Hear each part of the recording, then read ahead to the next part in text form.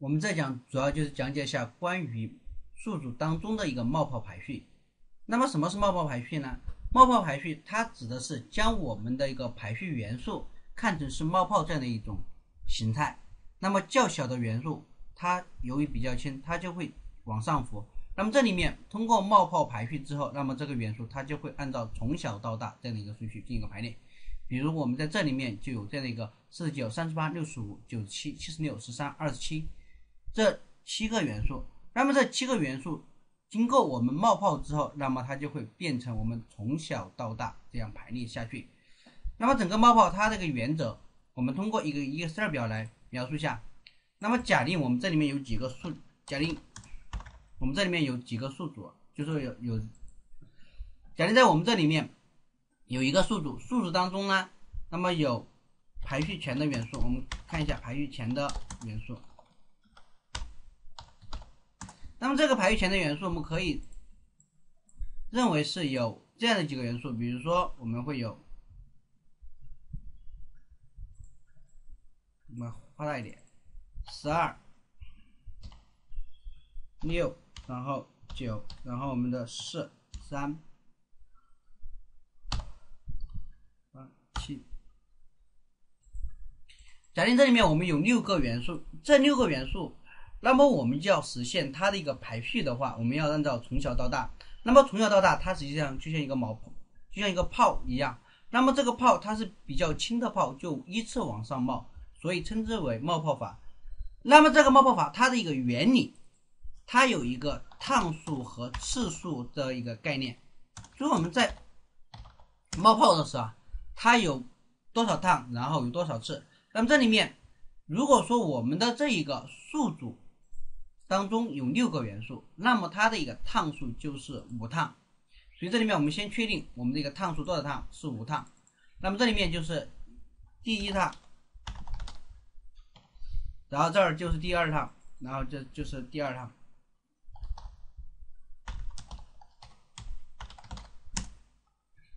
然后这里面就是第三趟。第四趟总共是有我们的，由于我们这里面是有，啊，这是第五趟。那么每一趟，比如说第一趟，它的一个比较次数有多少次？第一趟的话，它的一个比较次数的话，这里面我们看一下，第一趟它的比较次数，这里面，因为这里面第一趟它的比较次数就有五次，所以说这个是第一次，然后第二次。然后第三次，然后第四次，然后第五次，好，这是我们的一个趟数。那么这就有五，第一趟它就有要比较五次，那么第二趟呢，它就会比较四次。也就是说，我们这个趟数加次数，它的一个和就等于我们这一个元素的一个总数。那这里面怎么实现冒泡的？那么第一趟和第一次比较的话，它首先是十二和六进行比较。那么十二和六比较小的就排在前面，那么这个比较之后，那么就变成六十二，然后就变成九，然后三和八，然后和七，九三八七，好，这是我们的一个第一趟的第一次。那么第一趟的第二次，第二次就是第二个元素和第三个元素进行比较。那么第二次，也说这个九和十二进行比较。那么九和十二进行比较之后，这是第一趟的第一次，第一趟的第二次，那么就是六不变，然后十二和九，那么九由于是要小一点，那么就是九，然后十二，然后再进一个三，然后再进一个八，然后再进个七。好，第二趟，第一趟的第三次比较，那么第一趟的第三次比较就是十二和三进行比较，那么就是六。九，然后就是三和十二，那么就是三，然后十二，然后就是有一个，然后这里面就是三十二，然后这里面就是一个八和七进行比较，这是第一趟的第三次，那么第一趟第四次，那么第一趟第四次就是十二和八进行比较，六，九，三，然后八和十二比较，那么八就小一些，那么就八就在前面，十二，然后七。好，这里面好，这第五次，第五次比较的话，那么就是十二和七进行比较，那么就是六九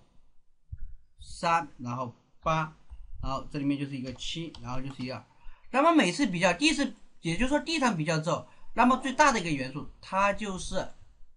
在我们最后，也就是说它相当于是冒泡，冒泡的话就是最大的这个元素就是在最底下面，那么最底下面这里面最大元素就是十二。那么第二场比较呢？第二场比较我们就是六九三八七十二。那么第二场比较我们看，第二场比较六和九进个比较，六和九进个比较的话，那么就是不变，那么就是六九，然后三八七十二。然后第二场，呃，第二次比较，那么就是六，也就是九和三比较，那么九和三比较就是六，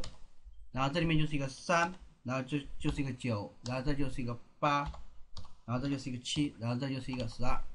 好，第三次比较的话，第三次比较有第二趟第三次比较，那么就是六三，然后九和八比较，那么八比九小，那么八就在前面，然后七，然后十二。好，这里面，那么第二趟的第四次比较，第四次比较的话，由于这里面每次比较的话，那么就是九和七这个比较，那么就显然就是六六三八，然后这里面就是一个七，所以这里面就是一个九，然后这就是一个十二。好，这是第二趟的第四次比较，那么第二趟的第二趟就比较完了，然后第三趟的第一次比较，第三趟的第一次比较的话，那么就是。呃，六和三进个比较，那么就是三在前，然后六就在后，三六，然后八七九十二。好，第三趟的第二次比较，那么就是六和八进个比较，那么就是六在前，然后八，然后这里七九十二。然后第三趟的第三次比较的话，那么就是三六八和七比较，那么就是七。九十二，好，第四趟，第四趟的话，那么第四趟的话，这里面也需要比较，那么第四趟就是三和六进行比较，那么也就是说三六七八九十二，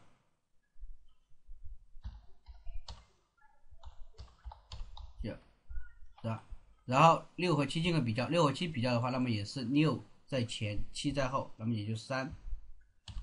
六七八九十二。然后第五趟的最后一次，那么就是三六七八九十二，这样比较之后，那么就比较出来了从小到大进的一个排序。好，这是我们的一个原理。那么这样的原理，那我们要通过程序去实现它。通过程序呢，我们就根据我们刚才这个图，我们来画一下。通过刚才这个图，首先我们来看这里面，我们第一个数组 int。S 就等于直接把这个数据给它复制进来。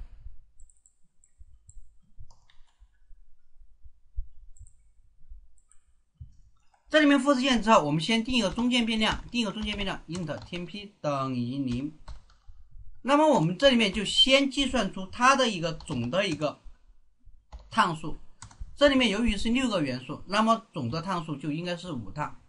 所以这里面就是 int i 就等于一，i 小于等于，然后总的长度 int s 点 lens 然后再减去一，然后是 i 加加，这是我们总的一个趟数。那么总的这个趟数，那么就有总的一个次数。比如说第一趟，那么第一趟它的一个次数就是我们要比较五次，那么就是 for 循环 int。J 等于一，j 那么就小于等于这里面就是等于我们这个 int s 点 length 减去我们的一个 i，然后是 j 加加，好，这里面就是我们的一个总的一个趟数。你你看我们这里面第一趟它就要比较五次，那么第一趟。当 i 等于一的时候，那么这个 j 就是等于五的，所以说这里面这是一个趟数，比较这个趟数，而这里面就是我们的一个比较的每一趟比较的这个次数。那这里面要有一个概念，就是你看第一趟比较的时候，我们是把第一个元素、第二个元素进行比较，那么就是我去判断，假定你看在这里面 if 我们什么时候会交换它们的顺序？十二和六，那么是前者比后者大。if 我们的一个前者比后者大，那么就是前者就是 in int s，然后就是一个前者的话，那么就是一个 j 减一，那么后者的话就是一个 int j，就这样的一个元素。if int s 如果说是大于我们的一个前者比后者大，你看我们前者比后者大，那么就是 int s，然后 j。如果前者比后者大，那这时候我们就会交换两者之间这个顺序。交换两者之间这个顺序，我们就先给，就说先把 int s j 减一，然后我们就给它赋值，就等，我们就先用我们这个天拼，就等于我们的一个 int s j 减一。好，然后我们的一个 int s j 减一就等于我们的一个 int s，这里面就是相当于是交换两者间这个顺序，然后我们通过第三者变量进行一个交换，然后第三的一个呢，那么我们原有的这个 int s j 这个位置上的这个数据，那么就应该是等于先拼。好，这样的话我们就把两者间这一个数据进行一个交换，这个就根据我们刚才这个原理。好，这样交换之后，然后我们在这里面我们就给它输出出来。好，这里面就已经实现排序了。排序之后，我们就 for 循环，int i 等于零，i 小于我们的一个 int s 点 lens 然后 i 加加，那么这里面就是我们排序之后这个数据，我们就把它输出出来，console 点 is nine。然后就把它输出出来，然后用 int s，然后这里面就直接输出 i 出来。好，这里面就是我们排序之后的这个数据。我们输出，我们看一下，这里面就是三六七八九十二，这里面就跟我们最终的这一个排序实际上就是一样的。这里面主要重点就是要理解我们这一个排序的一个原理。排序的一个原理就是。我们有一个趟数和次数，那么趟数次数就是比较两者之间的，比如说六和十二进行一个比较，那么比较之后，我们就看看的就是这两者之间的这一个顺顺序，比如说六和十二，那么这两者之间六和十二，六如果说是前者大于后者的话，那么就交换两者之间这个顺序。好，这是我们的一个。冒泡排在我们冒泡排序当中，特别是需要注意这个趟数和次数这两者之间这个关系。这里面我们的一个趟数和次数这两者之间的一个和，一定就是等于我们的一个元素的一个总数。那比如我们的一个第一趟，那么第一趟的话，它一定就要比较五次；第二趟的话，那么它就一定比较四次，因为趟数加次数就等于我们总的一个元素的一个数量。好，然后我们根据这个原理，我们再进行我们的一个。程序的一个编写，那么这个程序编写主要就是考虑到我们会利用一个中间变量，那么这个中间变量就是说先把我们之前这个值保留在这个中间变量当中，那么保留之后，那么我们再给这个值赋上它之前这个值，然后最终把这个保存的这个中间变量值，那么就先给它，然后 int s j 就等于天拼，好，这就是我们的关于我们的一个冒泡的一个排序，那这里面可能是这一块稍微有点。困难，然后这一块稍困难的话，我就画一个图来阐述一下。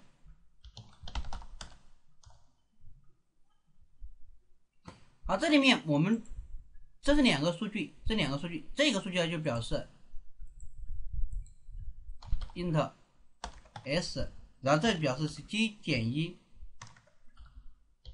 ，j 减一的数据。好，这里面这个数据呢就表示是。